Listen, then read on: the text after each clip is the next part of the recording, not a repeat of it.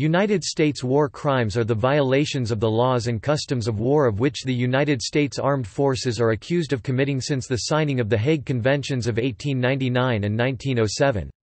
These have included the summary execution of captured enemy combatants, the mistreatment of prisoners during interrogation torture, and the use of violence against civilian non-combatants. War crimes can be prosecuted in the United States through the War Crimes Act of 1996. However, the U.S. government, which strongly opposes the International Criminal Court (ICC) treaty, believing it is seriously flawed, does not accept ICC jurisdiction over its nationals. Mexican-American War. When Zachary Taylor began leading American soldiers into Mexico the U.S. troops under the watchful eye of Taylor at first adhered to the rules of war for the most part and almost exclusively engaged only with enemy soldiers. This gained them some popularity with Mexican civilians who held the occupying Americans in a degree of high regard compared to the Mexican army who left their wounded to be captured by the enemy as they retreated from the area. In June 1846, this changed when American reinforcements entered the area and began raiding local farms. Many soldiers on garrison duty began committing crimes against civilians such as robbery, rape and murder in order to cure their boredom. This crime wave resulted in American soldiers murdering at least 20 civilians during the first month of occupation. Taylor showed little concern with the crimes his soldiers had been committing and made no attempt to discipline the soldiers responsible for them. This led to public opinion turning against the American troops and resulted in many Mexicans taking up arms and forming guerrilla bands which attacked patrols of U.S. soldiers. The attacks continued to get more prevalent especially after the Battle of Monterrey. During this time anti-Catholic sentiment and racism fueled more attacks on civilians. It was estimated that during this time U.S. troops killed at least 100 civilians, with the majority of them being killed by call. John C. Hays 1st Texas Mounted Volunteers in response to the violence, Mexicans killed an American soldier outside of Monterrey. American troops under the command of Capt. Mabry B. Mustang Gray responded to the event by abducting and executing 24 unarmed Mexican civilians. In the coming months the boredom of occupation duties led to additional violence against civilians. In November 1846, a detachment from the 1st Kentucky Regiment murdered a young Mexican boy, apparently for sport. Afterwards, Taylor again refused to bring charges against any of the soldiers involved. The most infamous group of soldiers during this time were the ones serving under Joseph Lane. After Captain Samuel Hamilton Walker was killed in a skirmish there, Lane ordered his men to avenge the dead Texas Ranger by sacking the town of Huamantla. The soldiers quickly became drunk after raiding a liquor store and began targeting the townspeople. Reports described the soldiers raping scores of women many of whom were young girls and murdering dozens of Mexican civilians while they burned down homes. However, these reports of an American rampage were overshadowed by news of Mexican General Antonio López de Santa Anna's resignation after the Huamantla attack, leading to no repercussions against Lane or any of the soldiers involved in the massacre. Philippine–American War Following the end of the Spanish–American War in 1898, Spain ceded the Philippines to the United States as part of the peace settlement. This triggered a more than decade-long conflict between the United States Armed Forces and the First Philippine Republic under President Emilio Aguinaldo. War crimes committed by the United States Army include the March across Samar, which led to the court-martial and forcible retirement of Brigadier General Jacob H. Smith. 1 Smith instructed Major Littleton Waller, commanding officer of a battalion of 315 U.S. Marines assigned to bolster his forces in Samar, regarding the conduct of pacification. I want no prisoners. I wish you to kill and burn, the more you kill and burn the better it will please me. I want all persons killed who are capable of bearing arms in actual hostilities against the United States." General Jacob H. Smith said. Since it was a popular belief among the Americans serving in the Philippines that native males were born with bolos in their hands, Major Littleton Tony Waller asked, I would like to know the limit of age to respect, sir. Ten years, Smith said. Persons of 10 years and older are those designated as being capable of bearing arms? Yes. Smith confirmed his instructions a second time. A sustained and widespread massacre of Filipino civilians followed. Food and trade to Samar were cut off, intended to starve the revolutionaries into submission. Smith's strategy on Samar involved widespread destruction to force the inhabitants to stop supporting the guerrillas and turn to the Americans from fear and starvation. He used his troops in sweeps of the interior in search for guerrilla bands and in attempts to capture Philippine General Vicente Lucban, but he did nothing to prevent contact between the guerrillas and the townspeople. American columns marched across the island, destroying homes and shooting people and draft animals. The exact number of Filipino civilians killed by U.S. troops will never be known. Littleton Waller, in a report, stated that over an 11-day period his men burned 255 dwellings, shot 13 carabaos and killed 39 people.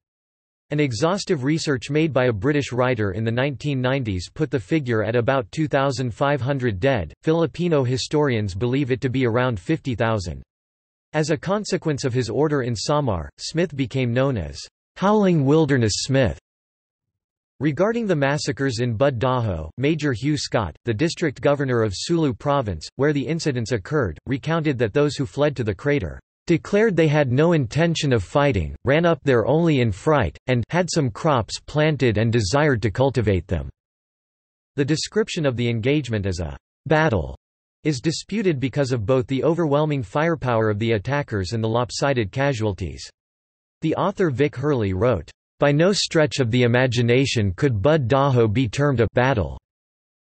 Mark Twain condemned the incident strongly in articles and commented, In what way was it a battle? It has no resemblance to a battle. We cleaned up our four days' work and made it complete by butchering these helpless people. A higher percentage of Moros were killed than in other incidents now considered massacres. For example, the highest estimate of Native Americans killed at the Wounded Knee Massacre is 300 out of 350 a death rate of 85%, whereas in Bud Dajo there were only six Moro survivors out of a group estimated at 1,000 a death rate of over 99%. As at Wounded Knee, the Moro group included women and children. Moro men in the crater who had arms possessed melee weapons. While fighting was limited to ground action on Jolo, use of naval gunfire contributed significantly to the overwhelming firepower brought to bear against the Moros. During the engagement, 750 men and officers, under the command of Colonel J. W. Duncan, assaulted the volcanic crater of Bud Dajo Tausug, Bud Dahu, which was populated by 800 to 1,000 Tausug villagers. On March 2, 1906, Wood ordered Colonel J. W. Duncan of the 6th Infantry Regiment stationed at Zamboanga, the provincial capital to lead an expedition against Bud Dajo. The assault force consisted of 272 men of the 6th Infantry, 211 dismounted men of the 4th Cavalry, 68 men of the 28th Artillery Battery, 51 Philippine Constabulary, 110 men of the 19th Infantry and 6 sailors from the gunboat Pampanga. The battle began on March 5, as mountain guns fired 40 rounds of shrapnel into the crater. During the night, the Americans hauled mountain guns to the crater's edge with block and tackle. At daybreak, the American guns both the mountain guns and the guns of the Pampanga opened up on the Moros' fortifications in the crater. American forces then placed a machine gun in position where it could sweep the crest of the mountain between us and the cotta, killing all Moros in the crater. One account claims that the Moros, armed with krisses and spears, refused to surrender and held their positions. Some of the defenders rushed the Americans and were cut down. The Americans charged the surviving Moros with fixed bayonets, and the Moros fought back with their kalis, barung, improvised grenades made with black powder and seashells. Despite the inconsistencies among various accounts of the battle one in which all occupants of Bud Dajo were gunned down, another in which defenders resisted in fierce hand-to-hand -hand combat, all accounts agree that few, if any, Moros survived. In response to criticism, Wood's explanation of the high number of women and children killed stated that the women of Bud Dajo dressed as men and joined in the combat, and that the men used children as living shields. Hagedorn supports this explanation, by giving an account of Lieutenant Gordon Johnston, who was severely wounded by a woman warrior. A second explanation was given by the Governor-General of the Philippines, Henry Clay Ide, who reported that the women and children were collateral damage, having been killed during the artillery barrages. These conflicting explanations of the high number of women and child casualties brought accusations of a cover-up, adding to the criticism. Furthermore, Wood's and Ide's explanation are at odds with Call. J. W. Duncan's March 12, 1906 post-action report describing the placement of a machine gun at the edge of the crater to fire upon the occupants. Following Duncan's reports, the high number of non-combatants killed can be explained as the result of indiscriminate machine gun fire. Despite President McKinley's proclamation of benevolent assimilation of the Philippines as a U.S. territory, American treatment of Philippine soldiers and civilians was far from benevolent. General Elwell Stephen Otis controlled the flow of information by journalists, often through violent methods, in order to maintain American support for the war. Following the Battle of Manila, Aguinaldo switched his tactics from conventional warfare to guerrilla warfare, causing American generals to establish harsher methods of warfare as well. Orders given by Otis and General Arthur MacArthur Jr. oversaw the complete destruction of many villages, and the capture and execution of their civilians, in order to incite conflict by Philippine soldiers. Despite Otis' restriction on journalism, many reports by both American and Filipino journalists indicate that American treatment of Filipino prisoners was very harsh, as many were starved and tortured, and many others were executed. A report written by General J.M. Bell in 1901 states, I am now assembling in the neighborhood of 2,500 men who will be used in columns of about 50 men each. I take so large a command for the purpose of thoroughly searching each ravine, valley and mountain peak for insurgents and for food, expecting to destroy everything I find outside of towns. All able-bodied men will be killed or captured. These people need a thrashing to teach them some good common sense, and they should have it for the good of all concerned.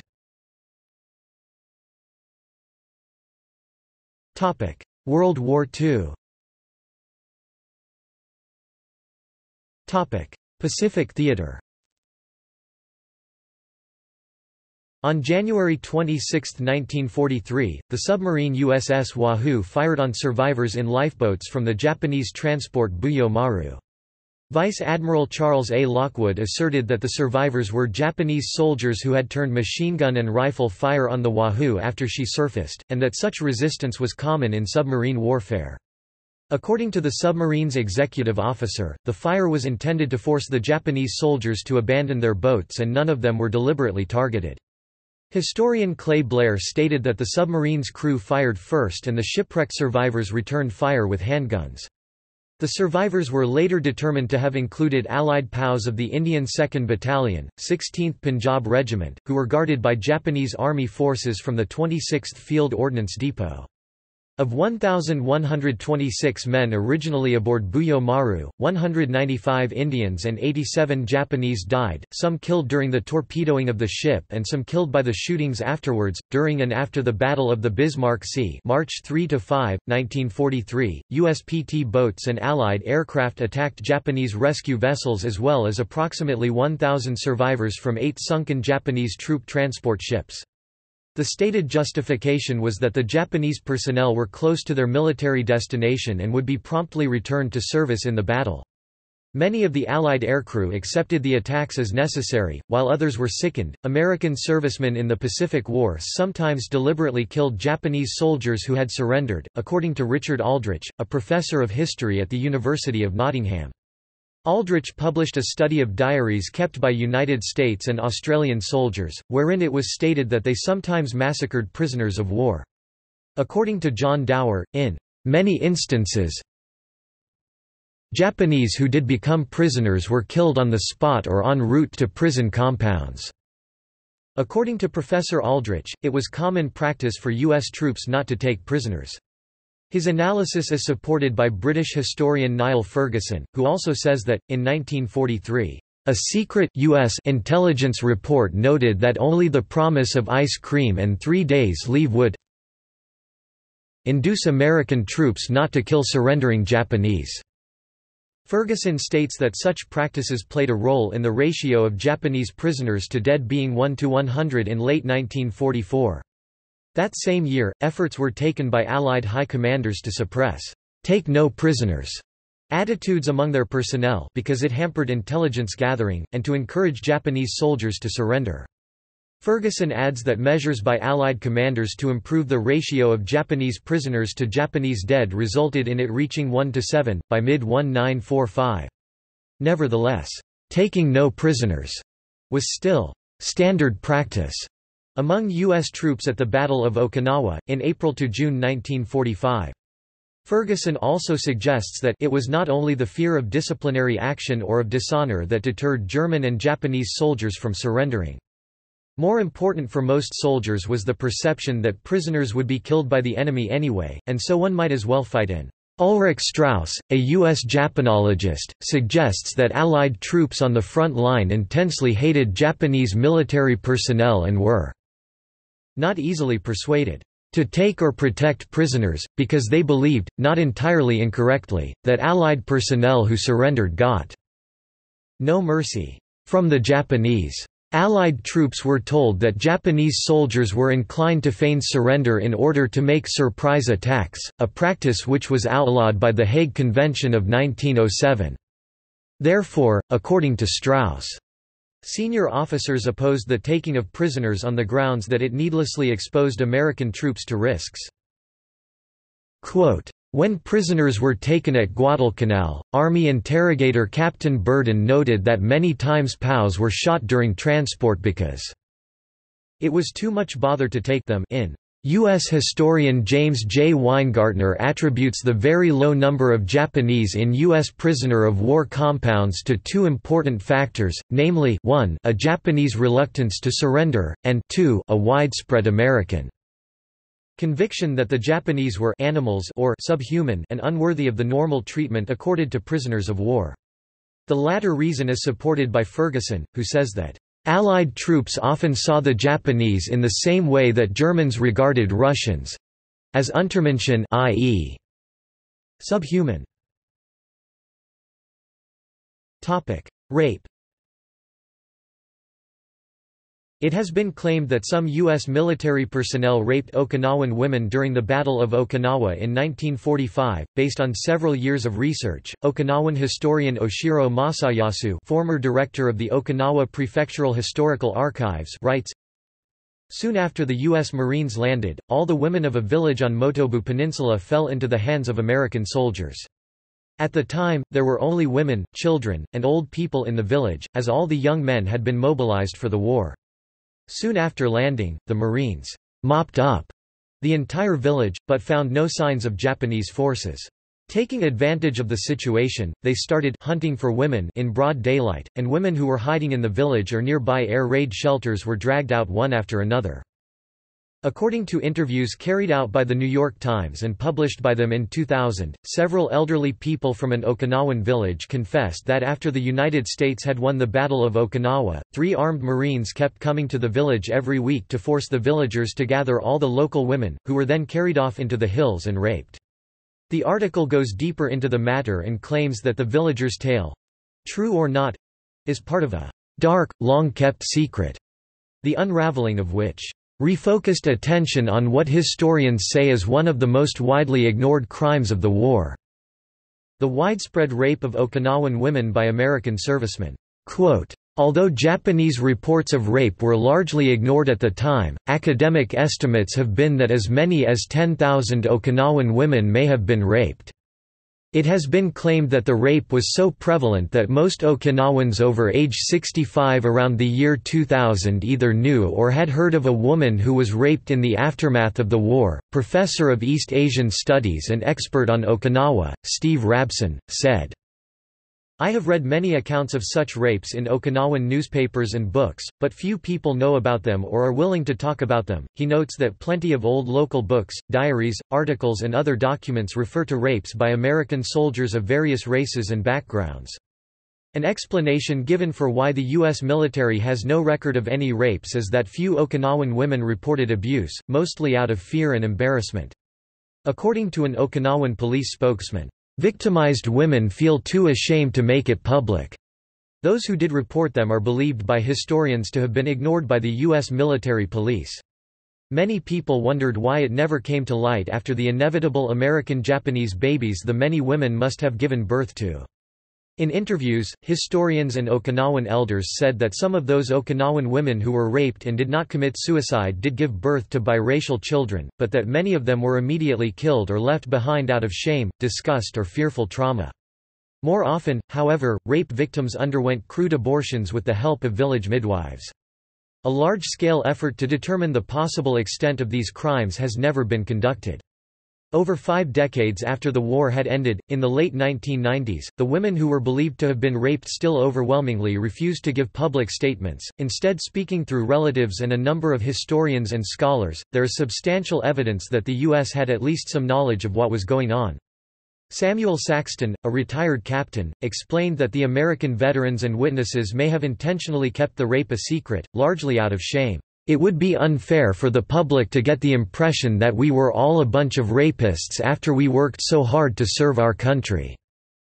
Military officials formally denied the mass rapes, and all surviving related veterans refused the New York Times request for an interview. Masae Ishihara, a sociology professor, supports this. There is a lot of historical amnesia out there, many people don't want to acknowledge what really happened.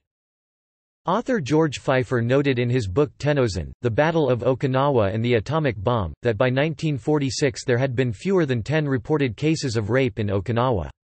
He explained it was, "...partly because of shame and disgrace, partly because Americans were victors and occupiers." In all there were probably thousands of incidents, but the victim's silence kept rape another dirty secret of the campaign.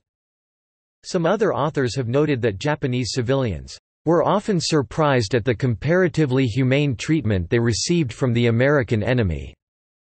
According to Islands of Discontent, Okinawan responses to Japanese and American power by Mark Selden, the Americans did not pursue a policy of torture, rape, and murder of civilians as Japanese military officials had warned. There were also 1,336 reported rapes during the first 10 days of the occupation of Kanagawa Prefecture after the Japanese surrender. European theatre In the Laconia massacre, U.S. aircraft attacked Germans rescuing survivors from the sinking British troopship in the Atlantic Ocean.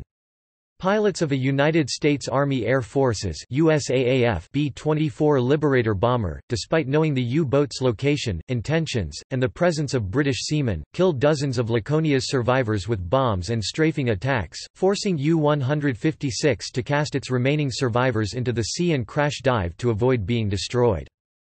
The Canicattì massacre involved the killing of Italian civilians by Lieutenant Colonel George Herbert McCaffrey. A confidential inquiry was made, but McCaffrey was never charged with any offense relating to the massacre. He died in 1954. This fact remained virtually unknown in the U.S. until 2005, when Joseph S. Salemi of New York University, whose father witnessed it, reported it. In the Biscari massacre, which consisted of two instances of mass murder. U.S. troops of the 45th Infantry Division killed roughly 75 prisoners of war, mostly Italian, according to an article in Der Spiegel by Klaus Wiegrefe. Many personal memoirs of Allied soldiers have been willfully ignored by historians until now because they were at odds with the greatest generation mythology surrounding World War II. However, this has recently started to change, with books such as The Day of Battle, by Rick Atkinson, in which he describes Allied war crimes in Italy, and D-Day, The Battle for Normandy, by Antony Beevor. Beevor's latest work suggests that Allied war crimes in Normandy were much more extensive than was previously realized. Historian Peter Lieb has found that many U.S. and Canadian units were ordered not to take enemy prisoners during the D-Day landings in Normandy.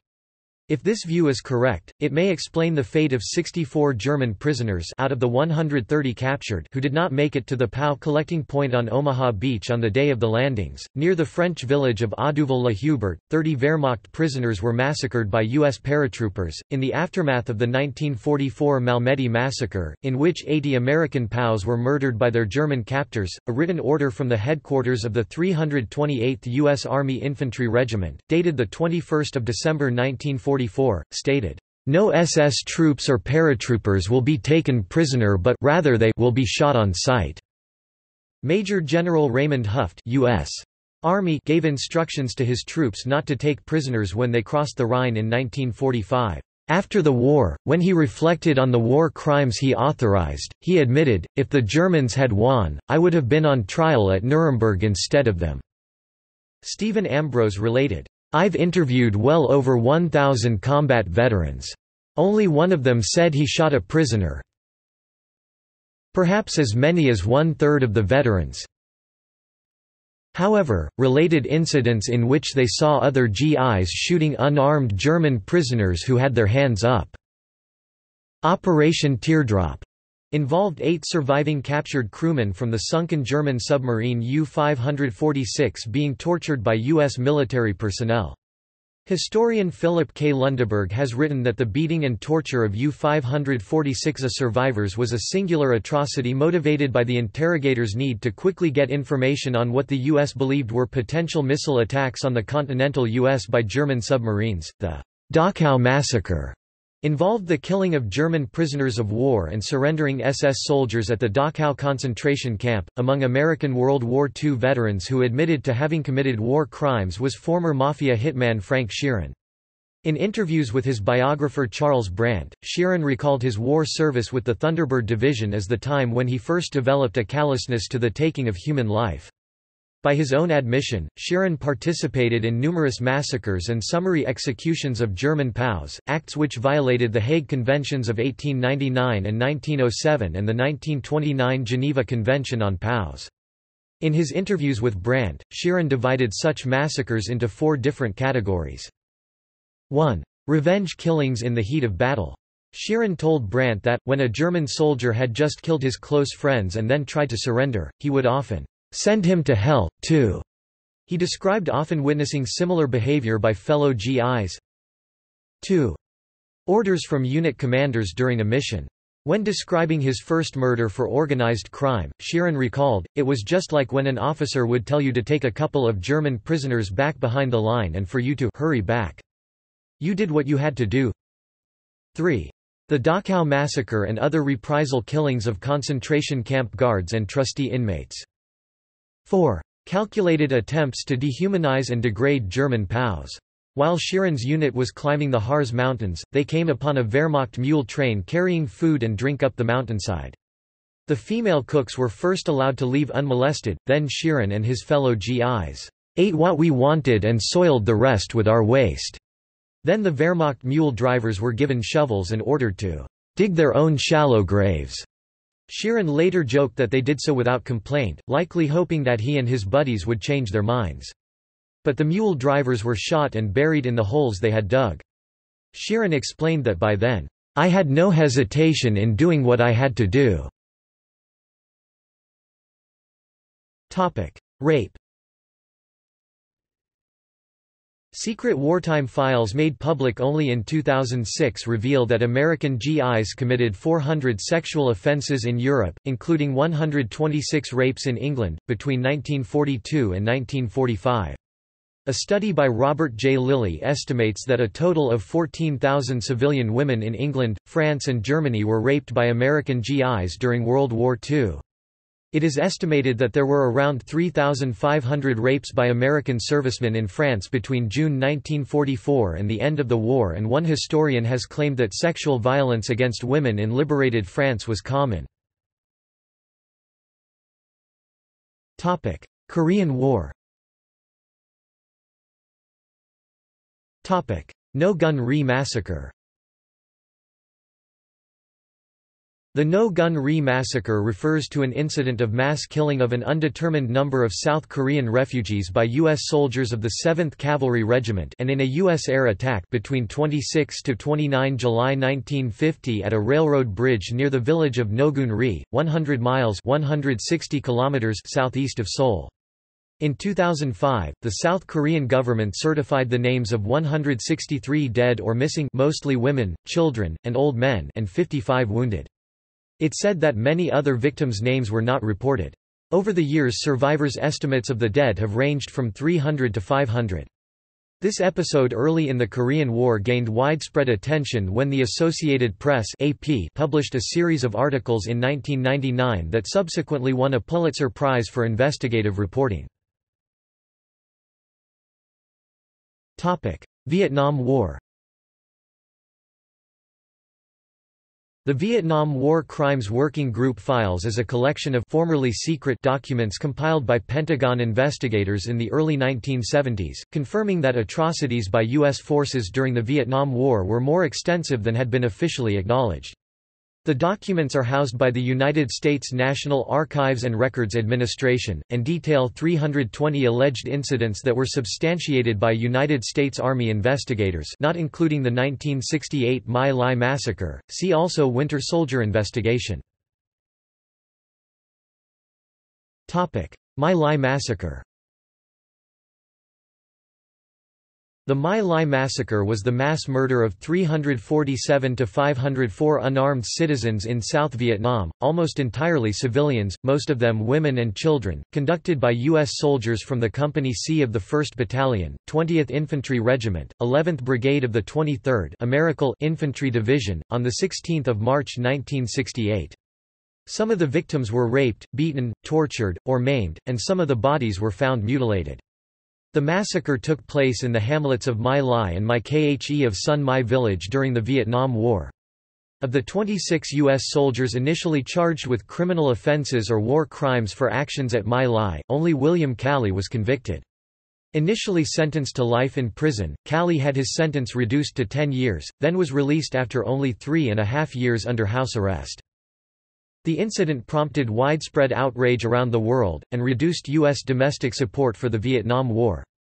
Three American servicemen Hugh Thompson Jr., Glenn Andriotta, and Lawrence Colburn, who made an effort to halt the massacre and protect the wounded, were sharply criticized by U.S. congressmen, and received hate mail, death threats, and mutilated animals on their doorsteps. Thirty years after the event their efforts were honored. War on Terror In the aftermath of the September 11, 2001 attacks, the U.S. government adopted several new measures in the classification and treatment of prisoners captured in the War on Terror, including applying the status of unlawful combatant to some prisoners, conducting extraordinary renditions, and using torture, enhanced interrogation techniques. Human Rights Watch and others described the measures as being illegal under the Geneva Conventions.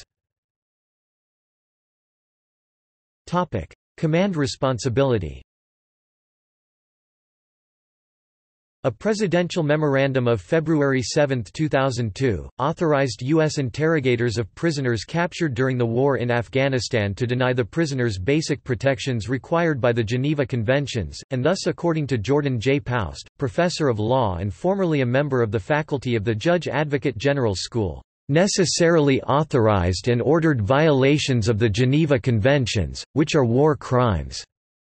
Based on the President's memorandum, U.S. personnel carried out cruel and inhumane treatment on captured enemy fighters, which necessarily means that the President's memorandum was a plan to violate the Geneva Convention, and such a plan constitutes a war crime under the Geneva Conventions, according to Professor Paust, U.S.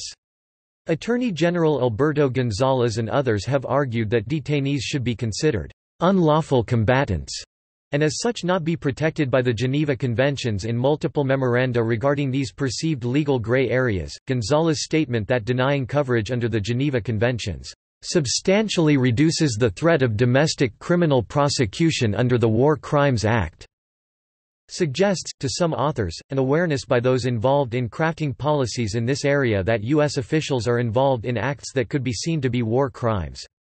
The U.S. Supreme Court challenged the premise on which this argument is based in Hamdan v. Rumsfeld, in which it ruled that Common Article 3 of the Geneva Conventions applies to detainees in Guantanamo Bay and that the military tribunals used to try these suspects were in violation of U.S. and international law. Human Rights Watch claimed in 2005 that the principle of command responsibility could make high-ranking officials within the Bush administration guilty of the numerous war crimes committed during the War on Terror, either with their knowledge or by persons under their control. On April 14, 2006, Human Rights Watch said that Secretary Donald Rumsfeld could be criminally liable for his alleged involvement in the abuse of Muhammad al-Qahtani. On November 14, 2006, invoking universal jurisdiction, legal proceedings were started in Germany, for their alleged involvement of prisoner abuse, against Donald Rumsfeld, Alberto Gonzales, John Yoo, George Tenet, and others. The Military Commissions Act of 2006 is seen by some as an amnesty law for crimes committed in the War on Terror by retroactively rewriting the War Crimes Act and by abolishing habeas corpus, effectively making it impossible for detainees to challenge crimes committed against them. Luis Moreno Moreno Ocampo told the Sunday Telegraph in 2007 that he was willing to start an inquiry by the International Criminal Court (ICC) and possibly a trial for war crimes committed in Iraq involving British Prime Minister Tony Blair and American President George W. Bush. Though under the Rome Statute, the ICC has no jurisdiction over Bush, since the U.S. is not a state party to the relevant treaty, Unless Bush were accused of crimes inside a state party, or the UN Security Council where the U.S. has a veto requested an investigation. However, Blair does fall under ICC jurisdiction as Britain is a state party. Shortly before the end of President Bush's second term in 2009, news media in countries other than the U.S. began publishing the views of those who believe that under the United Nations Convention Against Torture, the U.S. is obligated to hold those responsible for prisoner abuse to account under criminal law. One proponent of this view was the United Nations Special Rapporteur on Torture and Other Cruel, Inhuman or Degrading Treatment or Punishment Professor Manfred Nowak who, on January 20, 2009, remarked on German television that former President George W. Bush had lost his head of state immunity and under international law the U.S. would now be mandated to start criminal proceedings against all those involved in these violations of the UN Convention Against Torture. Law professor Dietmar Herz explained Nowak's comments by opining that under U.S. and international law former President Bush is criminally responsible for adopting torture as an interrogation tool. See also. References. Further reading General. By nation. Iraq. Vietnam. External links. Human Rights First, Command's Responsibility, Detainee Deaths in U.S. Custody in Iraq and Afghanistan